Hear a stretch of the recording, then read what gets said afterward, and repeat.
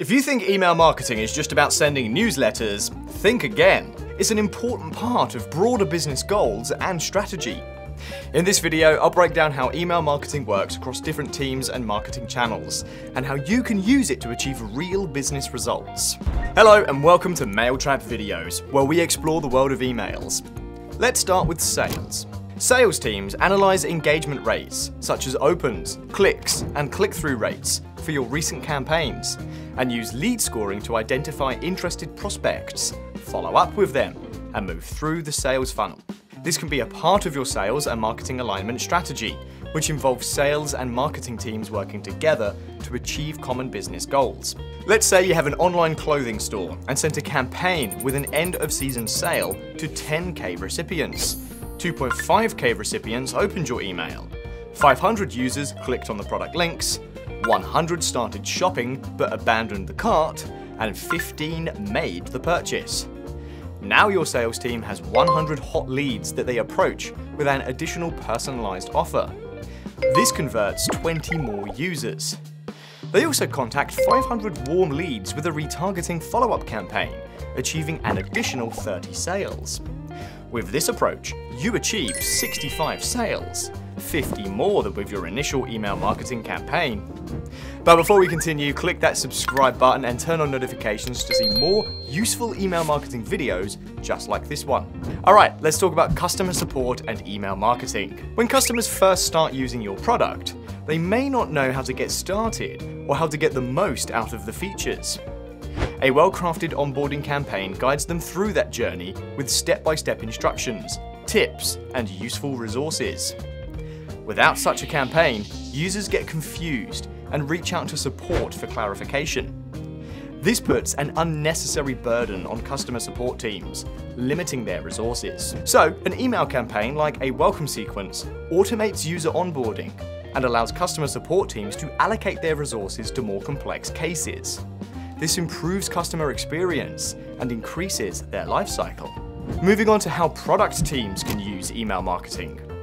Survey campaigns can be a great source of data for product teams, helping them identify areas for improvement and development. Let's say you have a SaaS product management platform and send a survey email campaign asking about the features your active users would like to see. You get the following results. 40% request calendar integration to sync tasks with Google Calendar. 25% mention the mobile app is slow and needs improvement. 15% ask for more customizable task templates.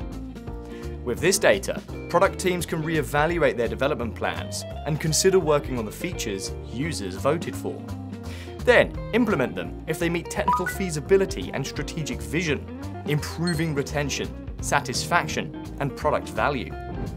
Apart from working with different teams, email marketing also supplements other marketing channels to lead users through different customer journey stages. For example, in the awareness stage, a visitor clicks a Google ad but doesn't make a purchase.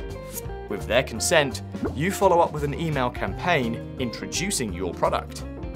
In the consideration stage, they click your email, explore your site, and engage with a special offer. You send them a retargeting email to lead them to the conversion stage, during which they make a purchase. Then you move them to the retention stage with post-purchase tips and exclusive offers. Finally, in the advocacy stage, you nurture loyal customers who promote your brand organically with referral programs, collecting testimonials and exclusive offers. Similarly, you could use social media ads or event marketing in the awareness stage, and then supplement it with email marketing.